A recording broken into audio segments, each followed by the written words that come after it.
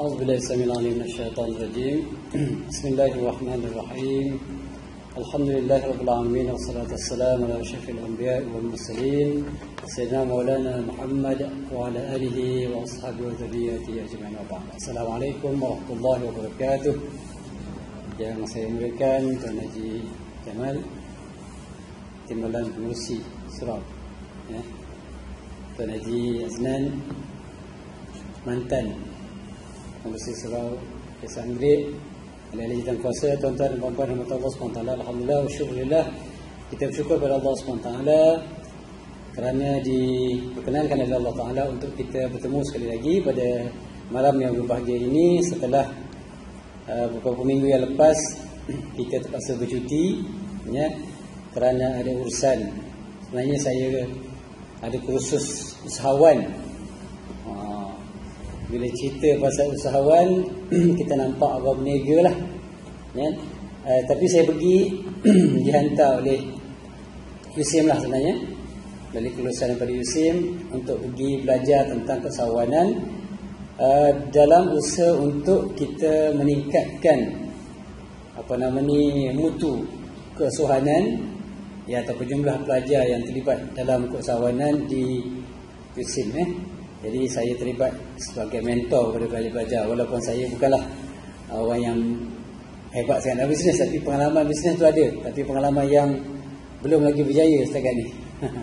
Berniaga dah lama dah ya tapi tak berjaya ni. Bukan gagal eh. Jadi bukan gagal tapi belum berjaya. Insya-Allah sampai masa dia akan berjaya lah tu insya-Allah. Mudah-mudahan. Insya-Allah. Baik. Dan Allah SWT satu perkara yang saya belajar untuk saya kongsi pada malam ini tentang keusahawanan tapi bukan ajak tuan-tuan berniaga ya. Satu perkara menarik rupa-rupanya apa yang dibuat sekarang ini ialah mengajar pelajar menjadi usahawan bukan semestinya mereka lahir sebagai usahawan ya tetapi mempelajari sifat-sifat sebagai usahawan. Ha ni tuan sahabat kita Encik Zamil kat sini. Ha usahawan muda eh.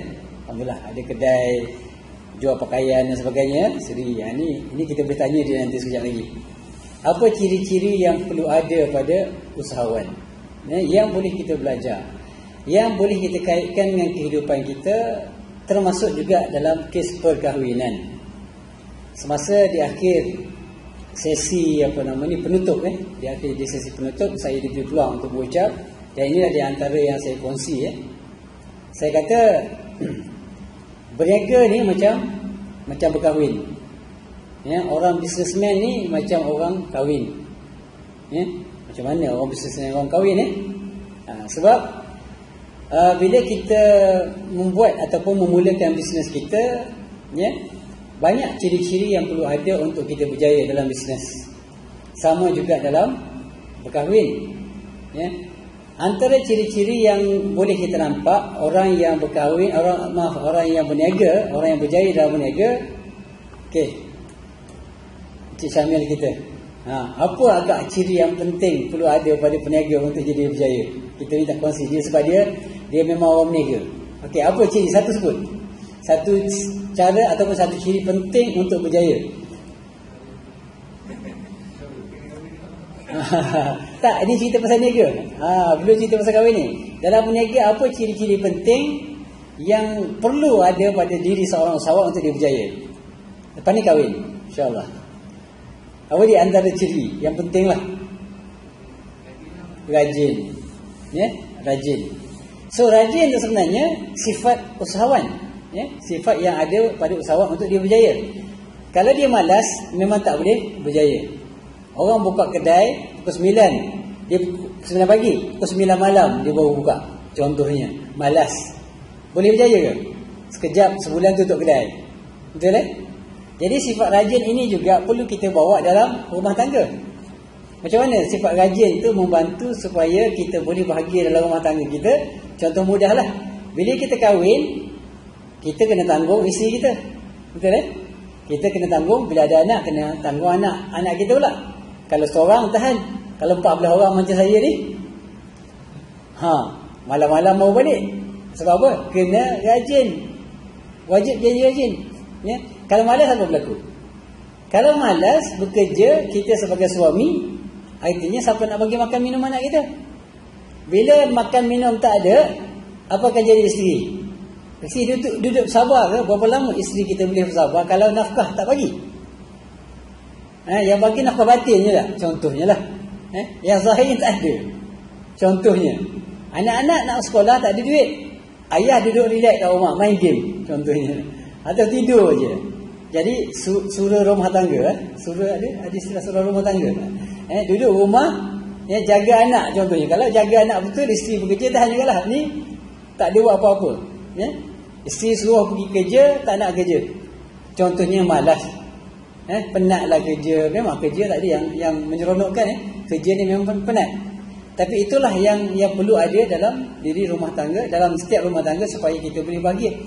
suami kena rajin, isteri juga kena rajin. Suami gaji pergi kerja, cari duit, cari nafkah, balik rumah rumah siapa-siapa isteri pemalas pula. Kemah rumah tidak, masak tidak. Contohnya, macam mana? Seronok ke bahagia ke rumah tangga? Tak bahagia juga. Kan?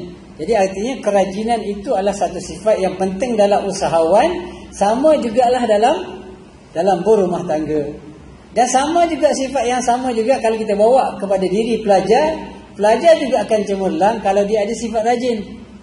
Cuma sekarang ni banyak pelajar-pelajar kita dia mudah mudah apa? Mudah bersyukur. mudah bersyukur tu bukan makna tak patut bersyukur. Ya, bersyukur ni memang wajib. Ya, tapi bersyukur apa? Tak apalah. Lulus pun okey dah. Ha, kan? Biasa pelajar kita. Alhamdulillah. Saya pernah ada student datang kepada saya. Ya? Datang, Ya Allah Ustaz. Terima kasih banyak Ustaz. Ya? Saya lulus dapat apa? Dapat D. Kata dia. Alhamdulillah. Syukur sangat dah. Dapat D syukur saya kata. Kalau dapat D tak payah jumpa datang. Ha? Tak payah jumpa saya lah. Tak payah ucap terima kasih lah kalau D. Kalau dapat A boleh datang jumpa. Terima kasih. Ha, dia dapat D pun Alhamdulillah. Patut bersyukur. Alhamdulillah kalau lulus. Lebih baik daripada, daripada tak lulus. Ya? Tapi kalau itulah sikapnya. Kita sebagai pelajar. Artinya kurang kerajinan. Maka apa jadi akhirnya? Akhirnya walaupun lulus. Pressure. Walaupun lulus. Dapat CJ tapi tak laku. Sekarang ni tuan-tuan anak-anak yang dikasih sekalian. untuk dapat kerja. Bukan senang. Ya? Orang yang mudah dapat kerja siapa dia? Orang yang lulusnya dapat anugerah dekan Dapat anugerah Apa nama diraja. Ha, Orang macam ni Cepat laku. Belum habis belajar lagi Orang nak pinang lah Siap-siap Kerja. Eh? Tapi kalau setakat-setakat lulus-lulus Tak boleh. Jadi sebab itulah sifat keusahawanan itu Iaitu rajin bekerja Rajin berusaha itu Kena ada Bawa dalam diri sebagai seorang pelajar Bawa dalam diri sebagai orang orang yang dah berkahwin suami atau isteri maka insya-Allah ciri kejayaan dalam rumah tangga itu akan ada.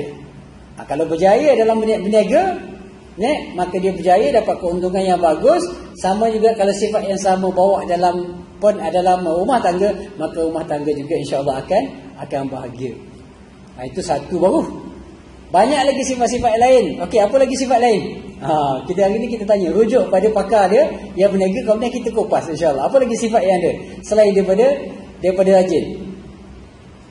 Sabar. Okey, sabar. Eh? Sabar ni pun satu sifat yang penting. Okey. Berapa lama untuk orang berjaya dalam berniaga untuk dapat tengok hasil dia? Contohlah buka kedai contohlah katalah 50,000 modal. Contoh eh. Mungkin lebih besar daripada tu eh. Ataupun mungkin rendah sikit eh. Kalau 50,000 modal agak-agak berapa lama kita berniaga untuk dapat break even? Untuk dapat kata orang balik modal. Berapa tuan? Encik Syamil kita ah, malam ni dia jadi orang yang famous eh ha, sebab kebetulan jangan minggu depan tak datang dah lah eh okey berapa lama nak dapat break even? Pengalaman? 5 tahun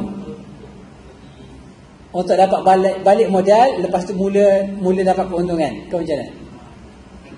Lebih kurang. Ha. Jadi tuan-tuan nak kena apa? Nak kena sabar. Ini masalahnya. Masalah kita orang Melayu kenapa ramai yang tak tahan? Ialah kerana dia tak sabar berniaga. Dia nak berniaga dia tengok orang senang. Orang pakai BMW dia pakai Mercedes tengok wah bestnya orang berniaga. Dia pun nak berniaga Sebulan berniaga nak tengok orang pakai pakai pakai dia boleh? Tak nak apa. Eh? Orang berniaga sekurang-kurangnya macam disebutkan tadi, sekurang-kurangnya untuk stabil dalam perniagaan dia kena ambil masa hingga 5 tahun. Sabar, buat lagi. Mula-mula tu memang tak laku langsung. Kadang-kadang orang tak kenal kita, orang tak tahu di mana duduk kita, apa kelebihan kita banding dengan produk-produk orang lain, kan? Jadi nak dapatkan kepercayaan orang ramai, masyarakat itu mengambil masa yang panjang. Setahun tu kadang-kadang nak nak buat promosi, kadang-kadang promosi lepas promosi, promosi, promosi kan. Pada masa itu kita mungkin tak dapat untung. Ya? Dalam negara. Lepas lima tahun barulah mula kita mengecapi hasil dia. Modal dah dapat balik, Alhamdulillah selesai. Satu-satu tahap dah selesai. Kemudian mulalah kita mendapat keuntungan. Artinya apa tuan-tuan? Artinya sabar ni satu benda yang penting dalam berniaga. Sama juga kalau kita bawa kesabaran ini dalam rumah tangga, maka rumah tangga akan bahagia. Sebab dalam rumah tangga ni subhanallah tuan-tuan. Ya?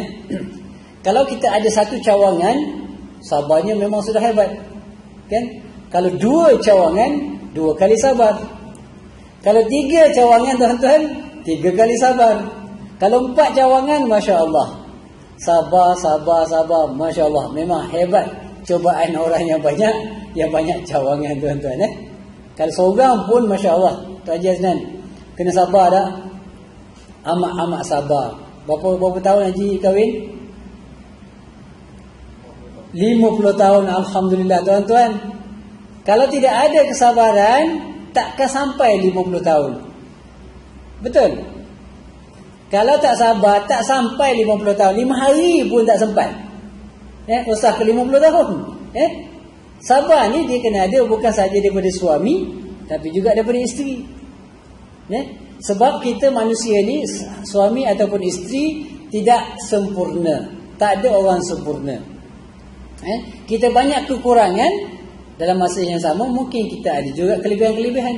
Isteri kita, ada kelebihan, banyak kelebihan-kelebihan dia. Kekurangan pun ada macam kita juga. Jadi, bila ada kekurangan dan kelebihan, masing-masing kena sedar diri. Tak boleh kita rasa kita lah hebat, kita tak ada salah. Memang kita akan ada salah. Jadi, bila berlaku kesilapan, cepat-cepat, cepat-cepat kita, kita sedar diri. Artinya, kalau kita rasa kita salah, kalau kita perlu minta maaf dengan isteri kita, pergi minta maaf. Apa masalah dia? isteri kita. Orang kata apa? Dalam pepatah Melayu sebut, ha, ular yang menyusur akar tidak akan hilang bisanya. Kan? Suami tetap namanya suami. Kehormatan suami tetap masih tinggi walaupun dia pergi minta maaf dengan isteri dia. Sama juga kadang-kadang kita buat silap dengan anak. Ha, kadang-kadang kita dengan anak ni kadang-kadang apa tuan-tuan boleh berlaku. Ya? Bila kita marah kadang-kadang kita cepat-cepat melenteng dan cepat-cepat ambil tindakan. Kadang-kadang kita pukul anak kita belum membuat penyiasatan. Ha, ini masalah besar ni. Dah rotan, dah denda anak, tiba-tiba siasat punya siasat, anak tak salah. Yang salah tu orang lain. Anak anak juga. Yang lain salah. Nak macam nak buat macam mana tuan-tuan? Nak biar je ke? Ataupun nak minta maaf? Eh, bapak ni nak minta maaf ke dengan anak? Ramai orang tak sanggup buat tuan-tuan. Ya? Tapi kalau kita bapa yang baik, bapa yang taat pada Allah yang tahu salah dan yang yang salah dan dan yang tak salah, yang betul dan yang yang tak betul, maka kita wajib pergi minta maaf dengan anak kita kerana kesilapan yang telah kita lakukan, mengaku salah. Anak pun akan akan hormat pada kita. Tapi kalau kita terus menerus melakukan kesilapan, tak minta maaf dengan anak, sedangkan kita tahu benda itu salah, maka kita bukan jadi bapa yang baik. Anak akan kata kat belakang kita. Tengok bapak tu. Kan? Tak entah apa-apa kita kena pukul. Padahal orang lain yang silap. Artinya persepsi, persepsi anak pada kita, kehormatan anak kita akan berkurangan dengan sebab tindakan kita. Eh? Kena sabar. Ya? Sama juga dengan isteri kita, kadang-kadang kita kita buat, kadang-kadang isteri kita buat salah, ya? tetapi bukan sengaja. Contohnya, dia tak sengaja buat silap. Dia buat silap Contoh paling mudah lah sekarang ni zaman IT tuan-tuan. Eh, kadang-kadang macam ni. Masing-masing ada grup WhatsApp-nya, kan? Kadang-kadang ada grup Facebook-nya. Kita dah larang, kita tak nak isteri kita contohnya ada friends lelaki. Tiba-tiba macam mana satu hari nampak ada lelaki juga dalam grup dia contohnya. dalam Facebook dia. Kita kata tak nak, tak boleh ada apa-apa hubungan dengan mana-mana lelaki kecuali yang mahram contohnya orang bapa saudara dia ke uh, siapa-siapa lah yang yang ada hubungan darah dengan dia itu saja kita benarkan berada dalam contoh list sahabat. Ini banyak berlaku tuan-tuan. Ya, banyak berlaku. Jadi tiba-tiba isteri kita tiba-tiba satu hari dapat nampak ada ada orang lelaki dalam tu nampak-nampak macam mesra-mesra pula eh? Berborak-borak bercicit-cicit kan? Jadi kita balik marah tu lah apa ni? Kan? Hari tu dah cakap degil. Tak dengar cakap macam orang tu kita dengan kasar kan?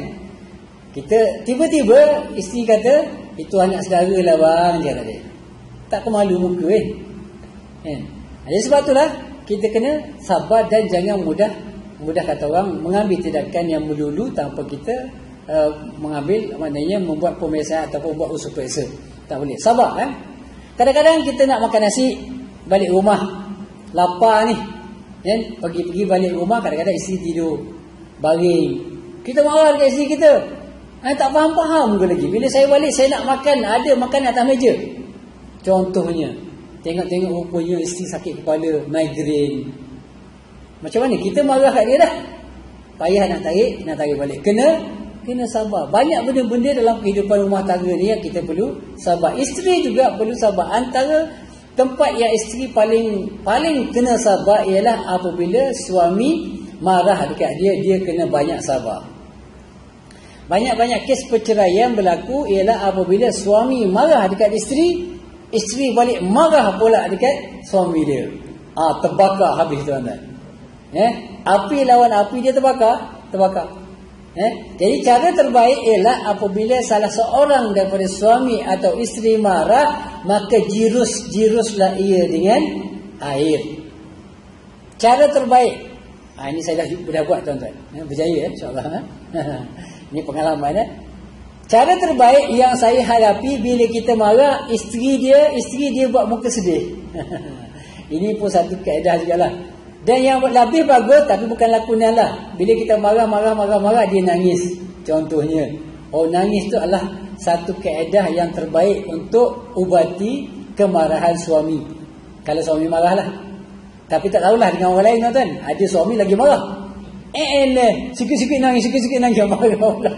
Eh, ha, tu pun tak ada juga. Jadi, kena baca lah. Ha, kena fahamilah isteri kita masing-masing. Ada yang tak suka eh eh, macam budak-budak kan sikit nangis marah pula kan ha, baik. Jadi sabar perlu ada dalam rumah tangga? Dan kesabaran ini juga kalau kita bawa sebagai seorang pelajar tadi asalnya sabar dalam bisnes. Tapi bawa dan diri seorang pelajar apa pelajar akan jadi pelajar yang amat cemerlang kalau dia kalau dia sabar. Belajar ni bukan seronok eh. Seronok tak belajar? Tak seronok. Nak tahu seronok tak seronok mudah aja Ya, saya dalam kelas saya test macam ni je. Okey, mulai minggu depan kita kedatangan kita anggap semua hadir. Ya. Minggu depan kelas dianggap semua hadir walaupun tak datang, tak apa. Kita datang minggu depan lillahi taala. Lillahi taala, ya.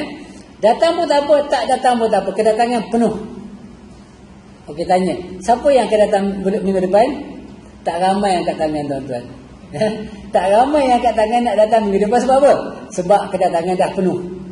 Ramai yang datang belajar kerana nak dapat kedatangan. Tak ramai yang betul-betul minat nak belajar. Kalau kita kata tak kisah, datang ke tak datang tak kisah. Eh, yang penting masuk periksa je. Saya ingat dua orang dekat depan. eh, dua orang je datang. Yang ikhlas betul-betul nak belajar. Yang rajin betul nak belajar. Tak ramai. Belajar ni tak seronok. Betul? Lagi tidur lagi seronok. Eh, tengok TV kat rumah, movie, main game. Lagi seronok daripada belajar. Ya, betul eh? Senyum tu betul lah tu. Eh? Okey. So artinya kena rajin. Kalau sifat rajin ini dibawa eh, kepada pelajar-pelajar, maka insya-Allah maka pelajar akan cemerlang sebab tu kita tengok oh pelajar yang dapat baru ni uh, sempat uh, pergi dekat konvo UCM dan sebagainya. Pelajar-pelajar yang dapat anugerah-anugerah yang hebat tu memang terkenal dengan pelajar-pelajar yang amat-amat rajin. Ya, amat-amat rajin. Sebab tu boleh berjaya. Ya? Rajin ini satu sifat yang penting. Satu komponen penting, satu ciri penting untuk kita berjaya dalam apa saja bidang dia. Baik, habis rajin. Lepas tu apa pula? Apa lagi? Ha? Disiplin. Oh, Masya Allah. Disiplin. Ha, malam ni kita berdasarkan pada poin-poin diberikan oleh businessman kita. Eh? Insya Allah. Yang dikaitkan dengan dengan perniagaan, perniagaan itu dikaitkan dengan rumah tangga. Eh? Disiplin tuan-tuan. Apa disiplin ni? Disiplin artinya kita ada peraturan-peraturan tertentu yang kita letakkan. Ya? Sama juga disiplin artinya mengikut peraturan ataupun disiplin ini kita letak. Kadang-kadang disiplin itu tak semestinya orang letak. Ya orang letak ni masalah disiplin ni. Ya. Orang letak sini. Maknanya contohnya universiti meletakkan pelajar wajib hadir sekurang-kurangnya 80%. Kalau kurang daripada 80% kita boleh bar pelajar tu kita boleh halang dia daripada masuk biasa. Ini peraturan universiti. Orang tak suka peraturan tuan-tuan. Ya. Orang tak suka peraturan. Yang boleh buat, yang diseronok buat ialah dia sendiri letak peraturan untuk diri dia sendiri panggilnya self discipline ya anak-anak contohnya kalau kita suruh dia buat satu-satu benda dia tak nak dia buat tapi dalam keadaan dia tak tak seronok tak happy kita ajak dia semayang wajib semayang tak semayang rotan dia semayang tapi dia tak happy contohnya ya kata okey tolong mak kat rumah tak tolong tak, tak, tak tolong mak kat rumah contohnya kita denda dia tak bagi keluar dia Contoh, daripada rumah. Tak boleh main dia. Tak boleh tengok TV contohnya. Itu peraturan yang dibuat oleh kita. Anak-anak tak happy. Peraturan yang yang patut disiplin yang perlu ada ialah disiplin yang kita letak sendiri, kita nak sendiri dan kita dengan penuh kerelaan nak buat benda tu. Baru dia menjadi lebih hebat daripada disiplin yang diletakkan oleh orang lain. Kita bisnes, modal kita, duit kita, risiko kita tanggung, Ya? Kita meletakkan diri kita disiplin kita sendiri sendiri bukan orang lain. Sebab duit kita. Ya? Kita letakkan set disiplin ada mesti macam mana pun kedai mesti buka pukul 9 contohnya. Itu disiplin. Betul eh? Ha, mana kalau boleh mana pukul 9 tepat kita mesti buka kedai. Tutup pukul 9 malam contohnya. Pukul 9 malam baru kita baru kita tutup. Bukan pukul 6 pukul 7 ah, malas hari ni penat lah letih tutup kedai awal. Tak boleh, tak ada disiplin. Contohnya. Disiplin juga buat sesuatu dengan cara konsisten, buat berterusan. Itu disiplin. Kalau hari ini contohnya kita kena buat promosi, kita kena buat promosi berterusan. Contohnya, satu hari contohnya kita kena promosi dalam Facebook contoh tiga atau empat kali sehari wajib contohnya itu disiplin. Ya, disiplin tentang duit pembelanjaan itu pun disiplin. Belanja berhemat itu disiplin. Belanja bila perlu saja contohnya adalah disiplin. Janji dengan orang kena tepat. Itu disiplin. Ya? Ha, jadi kalau benda ni dibawa dalam rumah tangga, maka rumah tangga akan bahagia. Eh, ini kadang-kadang masalah tuan-tuan kalau kita janji dengan orang minum kopi, jom mengetir kita, laju je. Setengah jam dah sampai kedai kopi. Ya? Tapi bila janji dengan isteri, alah tak apalah. Eh, isteri teruk kereta setengah jam tunggu. Awak pergilah start enjin kereta dulu. Ha, tunggu dia kata setengah jam tunggunya. Contohnya, tak disiplin. Eh? Disiplin ini ialah satu tuntutan dalam dalam Islam. Orang yang tidak berdisiplin, eh? orang yang tidak disiplin, contohnya orang yang mungkir janji adalah orang yang tidak disiplin. Orang yang mungkir janji ini dianggap oleh Nabi sebagai apa? Sebagai orang yang memiliki salah satu daripada sifat munafik. Eh? Memiliki sifat munafik. Orang tak disiplin ini ya orang yang dianggap sebagai memiliki sifat munafik. Nabi SAW menyebutkan ada tiga ya ada tiga sifat-sifat munafik. Antaranya wa idza wa'ada idza wa'ada akhlaf. Ya bila dia berjanji dia mungkir. Jadi sebab itulah ha, menerapkan nilai-nilai disiplin dalam dalam diri kita ya sebagai seorang suami ke sebagai seorang isteri ke sebagai seorang peniaga ke seorang pelajar adalah satu perkara yang yang penting. Ya perkara yang yang penting. Sebab itulah saya kalau kelas ni pelajar-pelajar yang pernah lalu dengan saya ni memang banyaklah pengalaman dia. Eh, lambat masuk kelas saya kunci pintu. Nah, dan selalu saya pesan kepada pelajar kalau saya lambat kunci pintu tak apa. Saya tak masuk pun tak apa. Ha, jadi alhamdulillah setakat ni belum lagi dah kena. Eh, ha. Kecuali kalau sebab-sebab tertentu kita maklumkan awal, okey hari ni agak lewat kerana masalah-masalah tertentu, dan kita maklumkan awal. Eh? Jadi disiplin penting. So dalam rumah tangga pun kita perlu ada disiplin yang yang yang yang apa ni kita jagalah disiplin itu dengan walaupun dengan isteri kita kerana rumah tangga adalah macam kita sebutkan tadi sama macam kita berniaga. Untuk berjaya kena ada kena ada disiplin. Baik. Apa lagi selain daripada itu?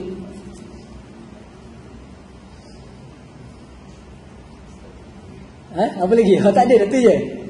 Okey. Baik, tak apalah. Kalau tak ada, tak apa. Saya tambahlah apa yang saya boleh fikir. Ya. Antara perlu ada dalam dalam apa nama ni uh, ciri-ciri orang yang berjaya dalam perniagaan ialah ada dia panggil apa nama ni persuasion. Uh, persuasion dalam bahasa Inggeris artinya kita kita ada kuasa ataupun ada kemampuan untuk memujuk ataupun memikat hati orang yang yang nak membeli. Klien kita. Ya, artinya macam mana kita tarik mereka supaya datang ke kedai kita contohnya. Kita kena ada ada seni tu. Macam mana kita nak tarik orang? Macam mana orang datang sekali dia akan datang setiap masa? Bila dia cerita pasal nak beli baju, sukan dan sebagainya, dia ingat hantar dia. Ha, contohnya, Encik Syamil kita. Okay? Bila dia dia nak apa-apa perkhidmatan, dia ingat orang ni je lah. Kawan dia. Mungkin kerana sebab apa? Sebabnya mungkin kita pandai tarik cara-cara layanan kita lemah lembut, cara mungkin harga kita pun tidak mahal sangat, eh? dan masuk layanannya bagus, masuk-masuk assalamualaikum silakan duduk, aku bagi minum air, bagi martabak contohnya lah kat kedai kan. Ha, itu memang ramai orang datang. Paling paling kurangnya dapat makan martabak walaupun tak beli baju kita contohnya. Ha, so itu di antara contoh-contoh yang yang perlu ada. Ya, maknanya kita ada ada seni untuk menarik orang supaya dia suka dekat kita. Benda ni bukan bukan bukan mudah tuan-tuan ya. Jadi kalau kita boleh boleh bawa sifat ini sebagai seorang apa dia? Sebagai seorang ist, suami contohnya, apa yang akan berlaku dalam rumah tangga? Isteri selalu merajuk tak? Kadang-kadang isteri selalu merajuk. Kadang benda-benda kecil pun dia nak merajuk. So macam mana kita nak tarik dia supaya supaya tak merajuk lagi? So kita kena ada seni tu. Seni memujuk. Ah, ni kena belajar tuan-tuan Seni memujuk. Ah, Biasanya orang perempuan ni nak pujuk senang je. Beli gelang yang setengah kilo tu. Eh, ha, setengah kilo. Oh, berapa? Tak banyak eh, dalam... dalam eh, ha. Beli gelang tebal-tebal tu bagi kat dia insyaAllah. Ha, hilang merajuk dia. Automatik tuan-tuan. Tak percaya try. Eh? Kalau merajuk 2-3 hari tak mau layan, ha, beli gelang emas tu. Eh, 2-3 ribu bagi kat dia. Ha, abang minta maaf. Ni tanda abang minta maaf. Ha, ni gelang ni ambil. Ha, cukuplah merajuk. InsyaAllah datang. Menjarah. Bulan depan dia merajuk pula. Eh? Ah, bulan lepas abang beli gelang. Jadi bulan ni dia tagih apa dia? Rantai pula. Eh, merajuk pula. Eh, sikit cari punca. Cari punca untuk merajuk supaya dapat gelang pula, dapat rantai pula. Ha, bankrupt kita. Eh? ha, tapi kita kena cari keadaan-keadaan yang tak perlu modal besar lah. Ha? Ha, kadang-kadang perempuan ni dia dia kadang-kadang kita minta maaf pun itu di antara teknik ya, satu kaedah. Kalau kita salah, jangan kita biarkan kesalahan itu tergantung-gantung tak minta maaf. Kalau kita rasa nampak layan dia lain macam, ah, mesti ada something. Mesti ada sesuatu yang kita kita kena pergi jumpa dia. Pergi, okey, jumpa dia macam biasalah balik kalau perlu salam dengan dia salam dengan dia kalau peluk peluk lah tapi jangan depan anak-anak lah bawa masuk bilik peluk okey apa sebenarnya eh apa masalah yang nampak lain macam Ni muka empat segi je kan. Ha, Biasa okey je kan Cerita lah Kadang-kadang kita buat gurau-gurau pun Boleh mengubat hati isteri eh? Walaupun dia marah macam mana pun Kalau kita buat gurau-gurau pun Kita tunjukkan kemesraan kita Kita tunjuk layanan yang baik Dia akan boleh berubah. Perempuan ni dia dia Subhanallah Tuhan bagi jiwa sebenarnya lembut Lebih lembut daripada kita lelaki. Ya? Jadi kita bila kita pergi berjumpa dengan isteri kita, kita kita maknanya uh, bermesra-mesra dengan dia dan insyaallah itu satu itu satu kaedah. Kata-kata yang pujian-pujian juga adalah satu kaedah bagaimana nak memujuk isteri supaya tak tak teruskan uh, maknanya merajuk dia tu. Mungkin selain daripada hadiah-hadiah tadi lah. Ha, janji buat pergi umrah. Okey, buat umrah ke? Contohnya. Ha, itu pun memang kos yang besar lah. Tapi kita perlu tahu macam mana kita nak pikat isteri kita. Ya, walaupun kita dah lama-lama tak memikat ni, dia dah 30 40 tahun kahwin ni kadang-kadang bab pikat memikat mudah. Dah tak heran dah. Eh, tak heran sangat dah eh. Tapi sekali-sekala kenapa tak buat eh? Ha, pikat isteri kita sekali-sekala. Ha, Haji memang sentiasa buatlah. Tengok selalu pergi holiday dan sebagainya kan. Itu kaedah memikat isteri dia tu. Alhamdulillah, eh. Ha. Jadi itu perlu ada eh? perlu ada. Itu skill yang perlu ada. Sama juga kalau kalau apa nama ni kalau uh, sifat mana seni untuk apa dia untuk menarik minat apa nama ni uh, contohnya ini dibawa kepada pelajar pun sama juga ya. Okey kita kena faham pelajar pelajar dia perlu faham pensyarah dia adalah adalah manusia biasa.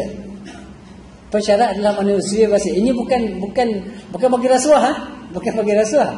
Tapi bila kita baik dengan dengan pensyarah hormat dia dengan dengan mana yang sepatutnya ya maka ada kemungkinan atau tak markah kita lebih baik daripada orang yang tak hormat pada guru dia ada kemungkinan kan? Ada kemungkinan sebab lecturer ni manusia biasa. Bukan rasuah eh? Artinya saya nak nak uh, bagi tahu uh, kongsi eh? Kaedah pemarkahan dia kepada pelajar adalah berbeza berdasarkan bukan hanya jawapan dia. Jawapan tu sebahagian lah Memang kena lah. Itu yang asas dia.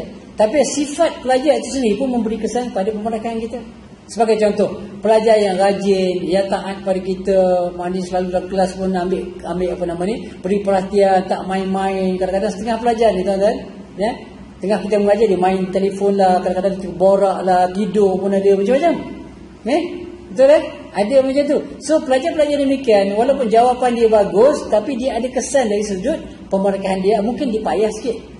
Kita payahkan sikit pada dia. Kalau pelajar-pelajar yang bagus-bagus ni mungkin kita senangkan sikit. Contoh, eh? So itu pun seni ya. Itu pun seni. Itu di antara perkara yang boleh kita kita laksanakan ya. Baik, selain daripada itu, ya. selain daripada itu antara perkara yang penting juga ya untuk kita berjaya dalam dalam apa nama ni perniagaan ya yang kita kaitkan juga ialah adalah istiqamah ya istiqamah betul eh istiqamah dan sebab perniagaan ni bukan benda yang yang senang ya jangan mudah putus asa tak boleh mudah putus asa ya itu pun di antara sifat-sifat yang perlu ada sebagai seorang yang bisnes orang yang businessman ya dan berniaga ya. Kalau kita dah buat buat buat tak konsisten buat sekat jalan hmm, malaslah eh, dah buka kedai dah habis 4-5 ribu berniaga 6 bulan tak boleh maju berhenti. Buka bisnes lain pula contohnya. Tak konsisten eh? ha, jadi itu pun salah satu keadaan uh, amat ni satu perkara yang yang tidak yang mesti ada ya mesti konsisten selain daripada itu juga mungkin bila kita dalam dalam perniagaan ini kita perlu juga ada kreativiti sama juga dalam dalam kita kahwin Kreativiti, kreatif maksudnya kita kena cari idea-idea macam mana nak tarik orang. Macam mana nak orang suka dengan produk kita, macam mana nak suka nak tarik orang supaya orang tengok je, wah, ini bagus. Ha, contohnya. Jadi ini pun salah satu juga sifat yang perlu ada dalam dalam rumah tangga. Kita perlu kreatif, kena ada idea-idea baru. Ya? Sebab apa? Sebab kalau kita dah kahwin, macam saya kahwin dah 30 tahun. Ya? Tapi balik serupa je kan memanglah isteri yang sama kan kalau kita ada isteri seorang yang samalah eh daripada muda sampai tua itulah dia pun tengok kita daripada janggut hitam sampai janggut putih sama ya tak berubah-ubah daripada dulu kan kenapa tak tukar sekali-sekala contohnya kalau biasa kat rumah balik kita pakai pagoda kan contohnya kan baju pagoda pakai plekat. Kenapa tak? Malam ni contohnya pakai tie ke? Contohlah. Ha, jangan pakai lah. Nanti apa ni? Ha, laki aku ni meluk apa buang terbiak ke? Eh contohlah. Ha, itu contoh eh. Ha, ataupun biasa pakai pakai maknanya pakai pagoda balik rumah. Okey malam ni pakai baju batik ke? Oh cantik-cantik kan ha, isteri mesti suka eh kadang-kadang isteri suka lah kadang-kadang isteri tak payahlah bang tak payahlah bang saya tak suka lah bang kalau nak keluar boleh lah pakai tu eh Ha, contoh eh? So kita perlu kreatif mencari keedah Macam mana kita nak tarik isteri kita Ya, sebab dia hubungan manusia ni dia macam iman juga. Iman kita ada ada masa naik, ada masa masa turun. Hubungan kita dengan isteri pun ada masa naik, masa turun. Masa turun bila? Bila ada masalah dia akan turunlah. Ya. Ha, masalah yang paling utama yang isteri paling takut bila dengar khabar, bukan betul ni?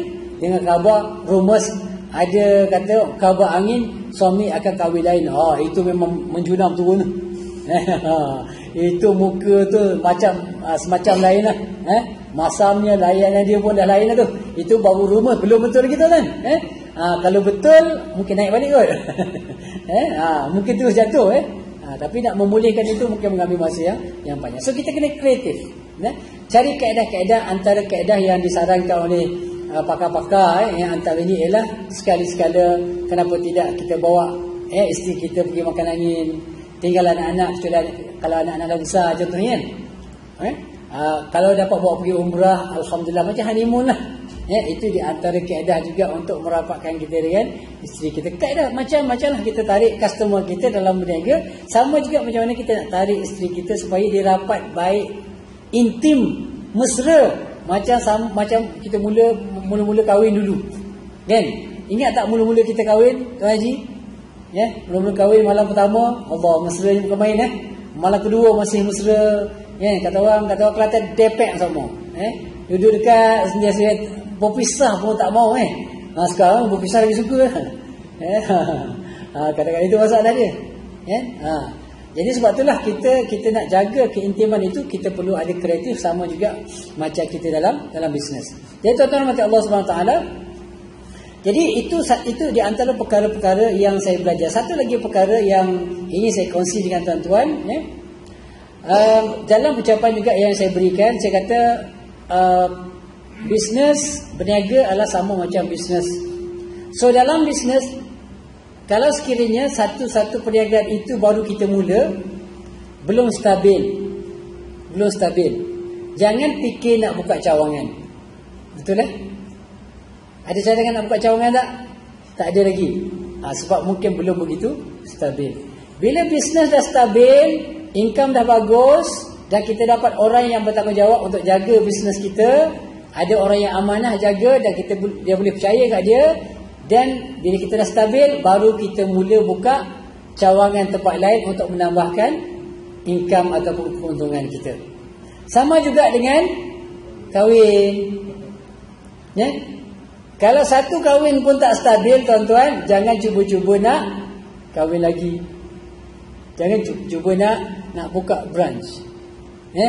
Kalau nak kalau dah stabil, ha, adalah adalah sikit sikit. Tapi belum tentu sebab kita kena juga pelajari macam mana sifat isteri kita. Eh? Kalau kita buka satu lagi branch mengakibatkan kebahagiaan yang pertama goyang rosak ha, itu tak artinya belum lagi sampai masa dia. Tak boleh lagi tu. Eh? Nak kena stabil bila kahwin tu maknanya tidak menggoncangkan rumah tangga yang pernah pernah kita, kita apa kita bina sebelum ini maka tak boleh lah tak sesuai lah masa dia. Yang sama juga kan ada jadi kita ambil sifat-sifat yang ada dalam diri seorang peniaga itu untuk kita bawa applykan dalam dalam diri kita sebagai seorang suami ataupun sebagai seorang isteri. Jadi tuan-tuan Allah SWT jadi selain daripada kita bawa sifat-sifat yang baik ya dalam diri sebagai seorang peniaga ataupun seorang businessman Maka sebenarnya kita juga perlu mengajak anak-anak kita secara mana menggalakkan anak-anak supaya berniaga sebab pertamanya berniaga ini adalah merupakan sunnah An-Nabi sallallahu alaihi wasallam. Ya. Berniaga ini satu sunnah Nabi sallallahu alaihi wasallam. Tadi dalam kelas kita buat satu test eh.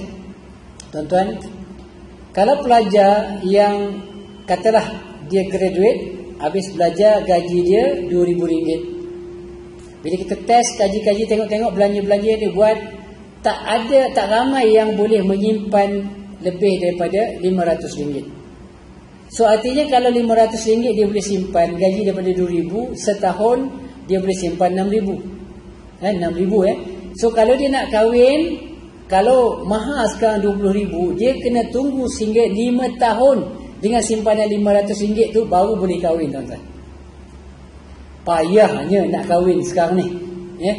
Mana lepas grad, kahwin, mana nak kahwin kena tunggu 5 tahun. Itu pun kalau tidak ada pembelajaran-pembelajaran yang yang lain.